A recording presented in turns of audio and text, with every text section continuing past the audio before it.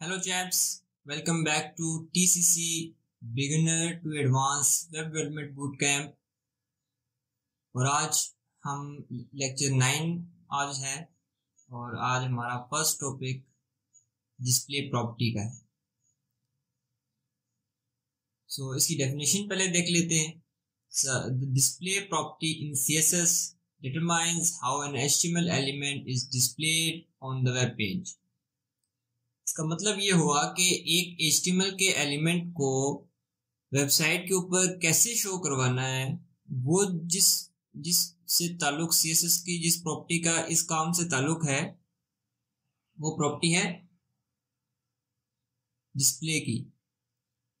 इसमें वैल्यूज़ हमारे पास, यहाँ पे आप एग्जांपल के अंदर भी देख सकते हैं कि काफ़ी सारी हमने वैल्यूज़ यूज़ की हुई हैं, वो नीचे भी लिस्टेड है कि हमारे पास इनलाइन है ब्लॉक है इनलाइन ब्लॉक है। और नन है। ये चार हमारे पास वैल्यूज़ हैं जो डिस्प्ले में आप एंटर करेंगे। इसको अभी हम कोड की एग्ज़ाम्पल के साथ देखते हैं मुख्तलिफ़ इसकी प्रॉपर्टीज़ की वैल्यू को, कि डिस्प्ले प्रॉपर्टी की मुख्तलिफ़ वैल्यूज़ क्या रिस्पॉन्ड होता है एच के एलिमेंट के ऊपर। अब यहाँ पे हम देखते हैं कि एच के साथ हम इनलाइन यूज़ कर रहे हैं स्पॉन के साथ हम ब्लॉक लेवल एलिमेंट का यूज़ कर रहे हैं। हम इसको अभी अपने वी स्टूडियो कोड के अंदर ओपन करेंगे। और इसको हम कोड करके देखेंगे कि ये प्रॉपर्टी इन एलिमेंट्स के ऊपर कैसे रिस्पॉन्ड करेगी। सो so, अभी हम अपने विजुअल स्टूडियो कोड में अगर हम अपना फ़ाइल स्ट्रक्चर देखें तो हमारे पास दो फाइल्स हैं एक एच की और एक सीएसएस की। एच के अंदर हम सब फ़र्स्ट ऑफ़ ऑल तो अपना बॉयलर प्लेट कोड ले आएँगे। देन जो मोस्ट इम्पोर्टेंट हमारे पास स्टेप है वो है कि हम अपनी सी की फ़ाइल को लिंक करें। क्योंकि हम एक्सटर्नल सी यूज़ कर रहे हैं तो हमें लिंक लाजमी करना है। देन हमने देखा था कि हमारे पास एक एच वन एलिमेंट के ऊपर डिस्प्ले की प्रॉपर्टी यूज़ हुई थी। तो हम एच वन एलिमेंट इधर बना लेते हैं। एक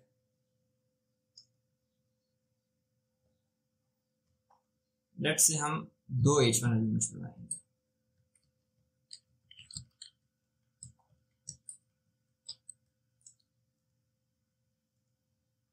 तो हमारे पास ब्राउज़र के अंदर यहाँ पे दो एच वन एलिमेंट्स आ गए अब यहाँ पे नोटिस करने वाली ये चीज़ है कि ये एच वन अपनी एक लाइन के ऊपर है और ये एच वन अपनी एक लाइन के ऊपर है।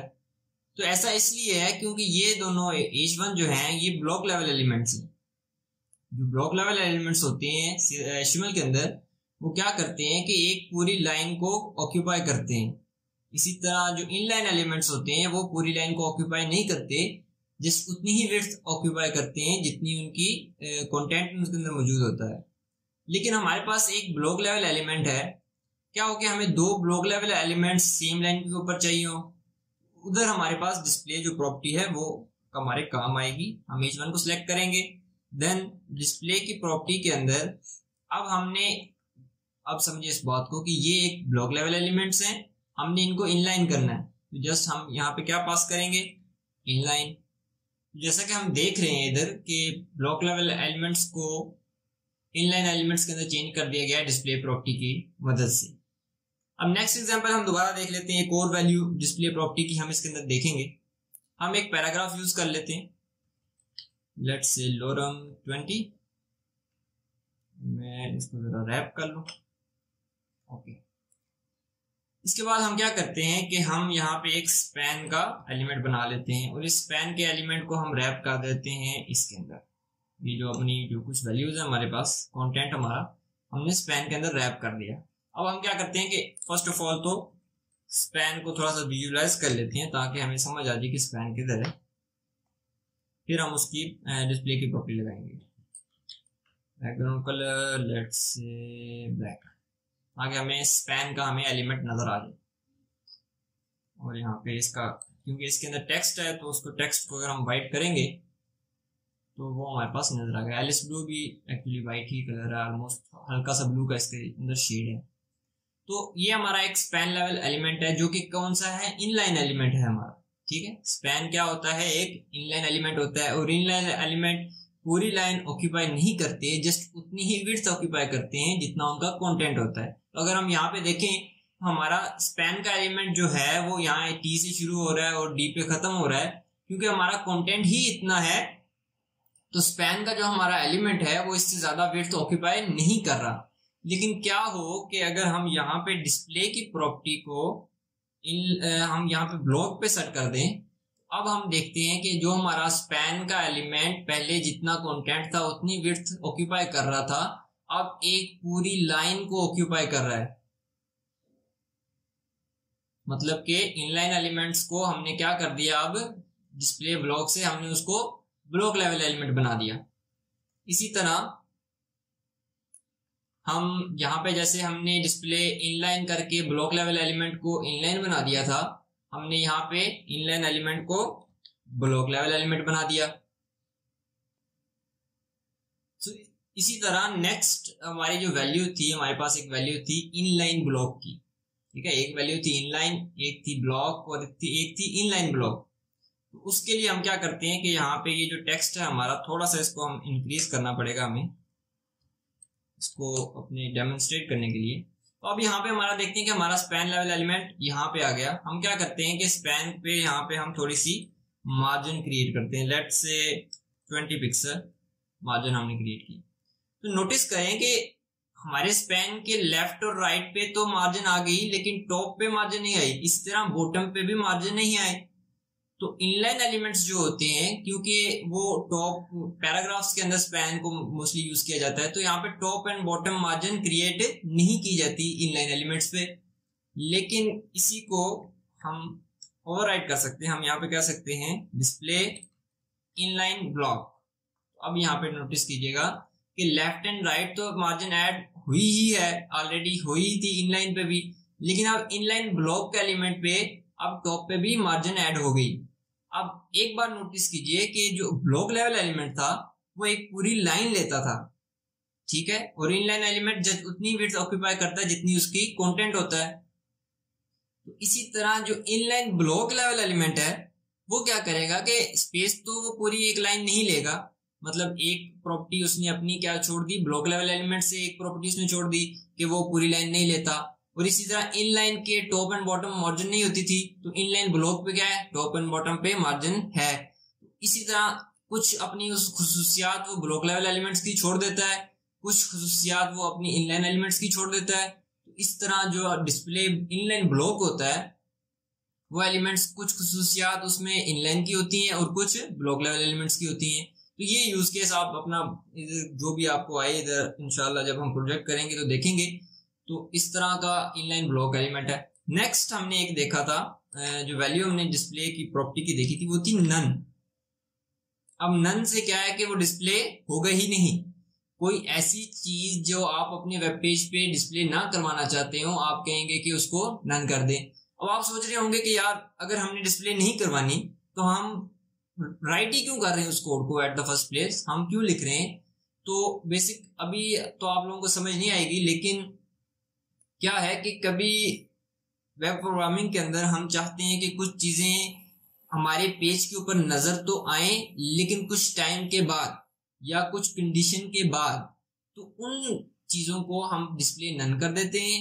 देन हम प्रोग्रामिंग जैसे कि जावास्क्रिप्ट को यूज़ करते हुए हम उस कंडीशन को या उस टाइम को कैलकुलेट करते हैं। देन हम क्या करते हैं, उसका ऑटोमेटिक डिस्प्ले जो होता है उसको हम ब्लॉक इनलाइन या जो भी हमने उस टाइम करना होता है, वो कर देते हैं। स्टार्टिंग में हम उसका क्या कर देते हैं? डिस्प्ले नन कर देते हैं। तो ये एक यूज़ केस डिस्प्ले नन का मैंने आपको बताया है, और भी काफ़ी है। अब हम चलते हैं अपने नेक्स्ट टॉपिक की तरफ़। तो हमारा नेक्स्ट टॉपिक है सी एस एस ट्रांजिशन अब ट्रांजिशन बेसिकली एक क्या होती है? जस्ट हम सी एस एस को छोड़ दें जस्ट ट्रांजिशन को देखें तो किसी भी एक स्टेट से दूसरे स्टेट के अंदर जाना, कैसे जाना या कितना टाइम लेना, वो तमाम चीज़ों को कैलकुलेट करके एक चीज़ के अंदर रख दिया जाए तो वो एक ट्रांजिशन हो जाएगी हमारी कि एक चीज़ से हमने दूसरी चीज़ पे शिफ्ट कर गए। इसकी डेफिनेशन पढ़ते हैं। C S S transition allow smooth properties changes over a specific duration enhancing user experience by animating elements seamlessly तो किसी भी एलिमेंट्स की जो प्रॉपर्टीज़ होती है सीएसएस की, उसको जरा चेंज करना, ठीक है ओवर अ टाइम ड्यूरेशन उसको किस तरह चेंज करना है वो तमाम चीज़ों को बताना हम सी ट्रांजिशन के अंदर स्पेसिफाई करते हैं। उसको का एक हमने सेट बना दिया है। अब इसका कुछ हम यहाँ पे एग्ज़ाम्पल के अंदर हम देखें तो मुख्तलिफ़ प्रॉपर्टीज़ को जोड़ के सी ट्रांजिशन बनती है और नीचे एक हमने शॉर्टकट दिया हुआ है। तो ये हम पहले तो ऊपर ऊपर वाले को देखेंगे देन हम शॉर्टकट भी देख लेंगे। सो so, पहली चीज़ हमने जो बतानी होती है वह ट्रांजिशन प्रॉपर्टी कि किस प्रॉपर्टी को हमने ट्रांजिशन करना है। देन ड्यूरेशन के प्रॉपर्टी और जो ट्रांजिशन है, उसकी ड्यूरेशन कितनी होनी चाहिए? यहाँ पे टू सेकेंड्स है। फिर ट्रांजिशन फिर ट्रांजिशन टाइमिंग फ़ंक्शन है। ये एक्सप्लेन करेंगे इसको बाद में, लेकिन ये है कि इसकी, उसको बताता है कि स्मूथली ट्रांजिशन करनी है ईज इन यानी कि आते हुए स्मूथ हो और जाते हुए जस्ट शिफ्ट हो जाए। तो ये उस तरह की चीज़ है, इसको हम अभी डेमोन्स्ट्रेट करूँगा मैं। और फिर transition delay transition delay basically after page load transition में कितना टाइम हो तो वो एक ट्रांजिशन की ये डिले है। उस तरह शॉर्टकट प्रॉपर्टी के अंदर जस्ट इन तमाम को लिखने के बजाय जस्ट हम ट्रांजिशन लिखेंगे then property duration timing function और डिले हम जस्ट मेंशन कर देंगे तो वो भी वर्क कर जाएगा। यहाँ पे भी नीचे इसका सिंटेक्स लिखा हुआ है, इसको एक बार आपने स्टडी कर लेना है। अभी हम इसको वीओ स्टूडियो कोड के अंदर देखेंगे और इसको अप्लाई करके हम अपने एलिमेंट्स के ऊपर देखेंगे कि ये कैसे अप्लाई होती है। सो वीओ स्टूडियो कोड के अंदर हम आ गए हैं और हमने क्योंकि ट्रांजिशन करनी है तो हम यहाँ पे एक डिप बना लेते हैं, ठीक है? इस डिव को हम यहाँ पे कुछ आईडी देते हैं, हम देते हैं ट्रांजिशन डिव ठीक है? ट्रांजिशन डिव हम यहाँ से इसको कॉपी ही कर लेते हैं। तो यहाँ पे अब इसको हम थोड़ा सा, इसमें हम ट्रांजिशन लगाएँगे फ़र्स्ट ऑफ़ ऑल ट्रांजिशन करने के लिए हमें बेसिकली कुछ एक स्ट्रक्चर चाहिए रहेगा उसका। हम उसकी विथ टूल बना लेते हैं लेट से हंड्रेड पिक्सल हाइट उसकी कर लेते हैं हम लेट से हम इसको एक स्क्वेयर बना लेते हैं। और बैकग्राउंड क्योंकि हमने अपनी एग्जांपल के अंदर बैकग्राउंड यूज़ किया था तो हम बैकग्राउंड ही कर लेंगे इसको। हमने एक ब्लैक बॉक्स यहाँ पे बना लिया। देन हमें क्या करना पड़ेगा कि हमें ट्रांजिशन डिव और इसके ऊपर होवर लगाना पड़ेगा। क्योंकि हमने चेंज पहले करना है ना। ट्रांजिशन तो हम बता रहे हैं कि चेंज होगा कैसे। लेकिन उस एलिमेंट के अंदर ऑलरेडी एक चेंज आना भी तो चाहिए ना। तो वो चेंज हम सिंपलेस्ट उसका करने का वे है कि हम उसके पे ओवर लगा दें। होवर लगाने से हम क्या करेंगे कि background colour let say brown so अब अगर आप देखेंगे, अभी हमने ट्रांजिशन इस पे नहीं लगाई जस्ट सिंपल हमने उस पर होवर लगाया है। तो हम क्या देख सकते हैं?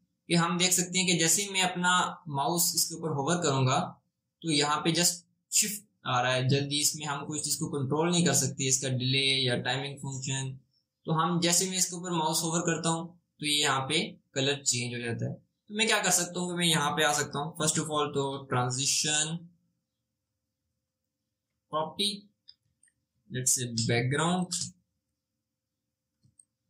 then transition duration let's say two second transition timing function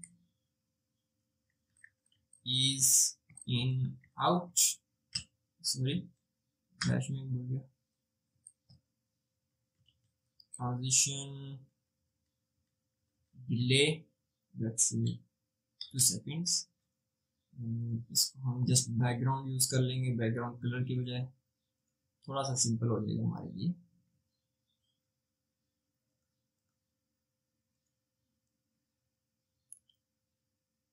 अभी अगर मेरा माउस इसके ऊपर, पहले क्या था कि जैसे ही मैं माउस अपना होवर कर रहा था तो जस्ट कलर चेंज हो रहा था। लेकिन अब मैं इसके ऊपर माउस होवर करूँगा तो देखते हैं क्या होगा। फ़र्स्ट ऑफ़ ऑल पहली चीज़ नोटिस करने से कि मेरा माउस डायरेक्ट जाने से वो चेंज नहीं हो रहा, क्योंकि हमारे पास क्या है? डिले है।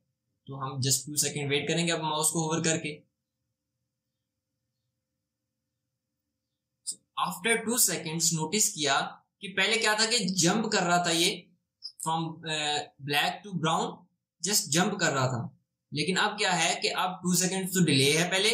देन क्या कर रहा है कि टू सेकेंड्स ले रहा है ब्लैक को फेड करके ब्राउन को सामने लाने में। देन अब अगर मैं माउस को रिमूव करता हूँ तो देन अगेन जस्ट ब्लैक नहीं हो रहा। फेड होके ब्लैक हो रहा है। वो किस वजह से है? Timing function in and out की वजह से। जस्ट अगर मैं इन करूँ हम रिफ्रेश कर लेंगे। और अब फ़र्स्ट ऑफ़ ऑल तो डिले किक इन करेगा। Then is in two seconds transition done अगर मैं रिमूव करता हूँ तो अब दोबारा ट्रांजिशन अब ट्रांजिशन यहाँ पे नोटिस करेंगे। यहाँ पे थोड़ी सी जिटरी ट्रांजिशन थी, इतनी स्मूथ नहीं थी, जितनी आने में स्मूथ थी। तो ये is in in and out का आपका कंसेप्ट है कि ट्रांजिशन बेसिकली कितनी फास्ट हो, किस साइड से। इज़ इन से अगर आने से मतलब ट्रांजिशन प्ले होने पे ज़्यादा स्मूथ हो, या दोनों पे ज़्यादा स्मूथ हो तो वो आपने इधर डिफाइन करना है। ये थी ट्रांजिशन की प्रॉपर्टी अब हम चलते हैं अपनी नेक्स्ट टॉपिक की तरफ़। सो हमारा नेक्स्ट टॉपिक है सी एस एस ट्रांसफॉर्म अब ट्रांसफॉर्म एक बहुत अच्छा एक इसका सी एस एस के अंदर एक पावरफुल टॉपिक है और पावरफुल प्रॉपर्टी है, जिसको हम डिस्कस करेंगे कि C S S transform property applies two D और three D transformation to an element such as rotating scaling skewing और ट्रांसलेटिंग इट अब नीचे एंड पे तो यहाँ पे काफ़ी सारे नेम ले दिए गए, आप लोगों को समझ नहीं आई होगी रोटेटिंग स्केलिंग स्क्यूइंग तो हम इसको करते हैं, अभी समझाएँगे। जस्ट पहली चीज़ समझ लें कि टू या थ्री डी ट्रांसफॉर्मेशन किसी एलिमेंट की अगर करनी हो तो सीएसएस की प्रॉपर्टी जो है ट्रांसफॉर्म प्रॉपर्टी उससे रिलेटेड होगी, जो हमने ट्रांसफॉर्मेशन करनी होगी। फिर उसके बाद जो सम वैल्यू यहाँ पे लिखा हुआ है विच मीन्स कि हम रोटेटिंग करेंगे, उसकी तो डिफरेंट वैल्यूज़ आएँगी स्केल करेंगे तो डिफरेंट वैल्यू आएगी। इस तरह स्क्यूइंग और ट्रांसलेटिंग के लिए उधर वहाँ पे डिफरेंट वैल्यू आएगी। तो अब हम चलते हैं अपने फ़र्स्ट जो हमने वैल्यू देखनी है ट्रांसफॉर्म की, जो कि है रोटेटिंग तो हम चलते हैं रोटेशन की तरफ़। So C S S transform property हम देख रहे हैं और उसकी पहली वैल्यू हम देख रहे हैं जो कि है रोटेट ट्रांसफॉर्म रोटेट के अंदर C S S transform property rotate rotates an element by a specific angle around a fix point जो एलिमेंट अपने एक पॉइंट के ऊपर मौजूद होता है डिफ़ॉल्ट डोम के अंदर, उसको रोटेट करना किसी एंगल के ऊपर वो हमारा ट्रांसफॉर्म रोटेट की वैल्यू करेगी। इसको हम अपने वी स्टूडियो कोड के अंदर देखेंगे इसको अप्लाई कैसे करना है किसी एलिमेंट के ऊपर। वी स्टूडियो कोड के अंदर हम आ गए हैं तो हमारे पास ये एक, हमारे पास इधर एक डिव पड़ी है। हम क्या करते हैं कि इसकी ये तमाम ट्रांजिशंस की प्रॉपर्टी को खत्म कर देंगे और होवर को भी खत्म कर देंगे। देन हम यहाँ पे इसको एक कुछ ट्रांसफॉर्म कर देंगे।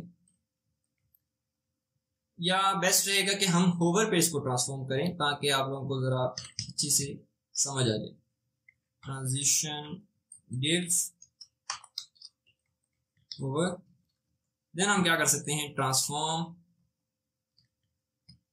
अब हमने क्या देखना है? अभी आप देखेंगे ट्रांसफॉर्म की यहाँ पे बहुत सी वैल्यूज़ हैं। हम तमाम कवर नहीं करेंगे। आप तमाम को एमडीएन से देख सकते हैं। एमडीएन एक ऑनलाइन रिकॉर्ड है। तो आप वहाँ से देख सकते हैं तमाम प्रॉपर्टीज़ की। जैसे जैसे आपको ज़रूरत पड़ती जाएँगी। हम जो अभी एक्सप्लेन कर रहे हैं वो है रोटेट अब हमने इसको रोटेट करना है। कितना रोटेट करना है? लेट से 80 डिग्री तो जैसे हम इसके ऊपर होवर करेंगे, अब ये क्या हो रहा है? रोटेट हो रहा है। जैसे हम देखेंगे रोटेट हो रहा है। अब रोटेशन यहाँ पे बिल्कुल सडन रोटेशन है। अब जैसे जो टॉपिक हमने पहले पढ़ा है ट्रांजिशन आप रोटेशन को भी ट्रांजिशन लगा सकते हैं। आप इसके ट्रांसफॉर्म को ट्रांजिशन लगा देंगे तो ये क्या करेगा? ईज इन हो जाएगा। और यहाँ पे एक आप इसको टाइमिंग फ़ंक्शन इसको दे सकते हैं या फिर आप इसका जो ड्यूरेशन है उसकी आप इंक्रीज कर सकते हैं तो ये स्मूथली यहाँ पे रोटेट हो जाएगा। सो so, अभी देखें कि हमने 80 से 10 डिग्री पे इसको कर दिया है तो अभी भी ये इस तरह टेन डिग्री अब ये रोटेट हो रहा है।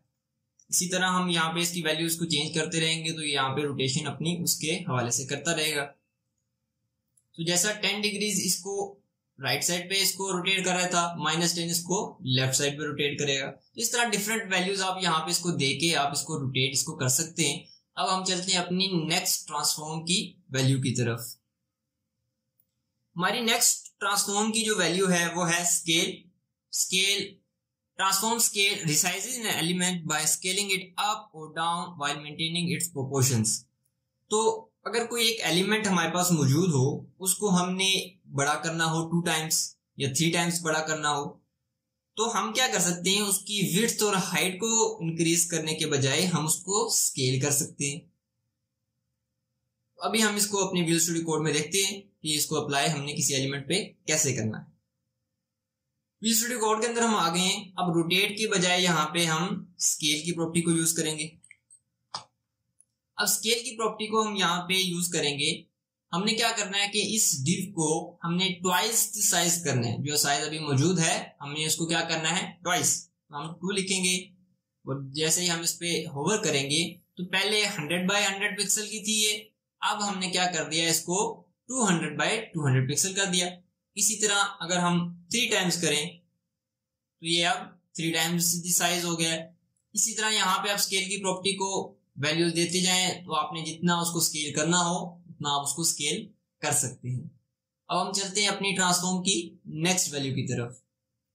नेक्स्ट हमारी सीएसएस ट्रांसफॉर्म की जो वैल्यू है, वो है translate translate move an element along the X and Y axis relative to its original position without changing its size और affecting the layout of surrounding elements तो C S S transform translate क्या करता है कि दो values accept करता है first of all अभी तो पहले हम दो वैल्यूज़ देखी हैं ट्रांसफॉर्म की, वो जस्ट एक ही एक्सेप्ट करती थी वैल्यू लेकिन यहाँ पे दो करता है, एक एक्स की और एक वाई की। और ये एक एलिमेंट को बेसिकली जो उसका ओरिजिनल पोजीशन होती है ना, जो डिफ़ॉल्ट पोजीशन होती है, वहाँ से उसको मूव करता है relative to X and Y जो हम उसको प्रोवाइड करते हैं।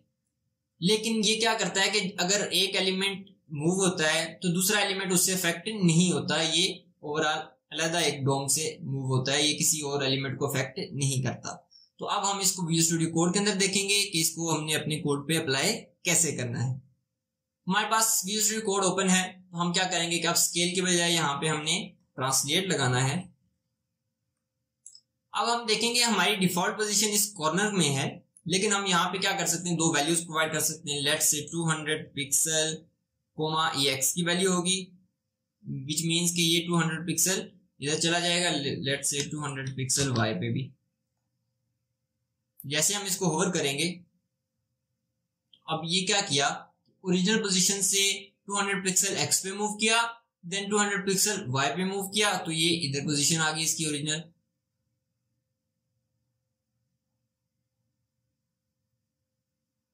इसी तरह हम यहाँ पे और वैल्यूज़ भी प्रोवाइड कर सकते हैं। लेट से 2000 तो ये अब कहीं एक अलग ही मूव कर दिया है यहाँ से इधर चला गया बहुत ज़्यादा। तो ये अब अब मेरा पेज बेसिकली अफेक्ट इससे नहीं हो रहा। लेट से यहाँ पे एक और डिव मौजूद हो।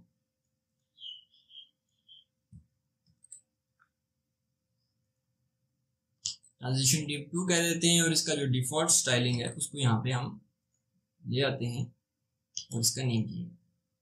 अब मेरी ये जो डिव है, अब मैं अगर टू थाउज़ेंड नहीं टू हंड्रेड ही वापस कर दूँ। क्योंकि ये इस तरह अफेक्ट कर रहा है क्योंकि हम होवर पे इसको यूज़ कर रहे हैं। बेस्ट वे नहीं है, लेकिन एक्सप्लेन करने के लिए आपको होवर पे यूज़ कर रहा हूँ मैं, ताकि सिंपलेस्ट वे के अंदर एक्सप्लेन किया जाए। तो जैसे ही हम इसको होवर करते हैं तो अब पुराना जो हम, जिसके ऊपर हमने होवर लगा के ट्रांसलेट किया है उसको, वो तो बेसिकली मूव कर गया। लेकिन जो दूसरी हमारे पास डिव मौजूद थी, उसको कुछ इफ़ेक्ट नहीं हुआ उसकी पोजीशन मूव करने से। अगर डिफ़ॉल्ट में ये हो कि एक डिव दो डिव्स मौजूद हो, एक डिव मूव कर जाए तो दूसरा डिव जो होगा, पहले डिव की पोजीशन ले लेगा। लेकिन क्योंकि हम उसको ट्रांसलेट कर रहे हैं तो वो क्या करेगा कि वो उसको अफेक्ट नहीं करेगा। एज सच हम जस्ट ट्रांसलेट उसकी अपियरेंस को कर रहे हैं। ओरिजिनल उसकी पोजीशन जो रहेगी, उसकी डायमेंशन जो रहेंगी, वो सेफ़ रहेंगी। वो उसको कोई और एलिमेंट ओवरटेक नहीं करेगा। तो ये था हमारा आज का लेक्चर होप सो कि आप लोगों को पसंद आया होगा. आप लोगों से सबसे रिक्वेस्ट है कि जिन्होंने अभी सब्सक्राइब नहीं किया हुआ चैनल को, वो सब्सक्राइब भी कर लें वीडियोस को लाइक कर दिया करें और अगर किसी का कोई क्वेश्चन हुआ करे तो वो कमेंट्स में आप हमसे पूछ लिया करें. हम फॉर श्योर आपसे, आपको रिप्लाई फौरी करेंगे और आपसे अब मुलाकात होगी अपने नेक्स्ट लेक्चर के अंदर.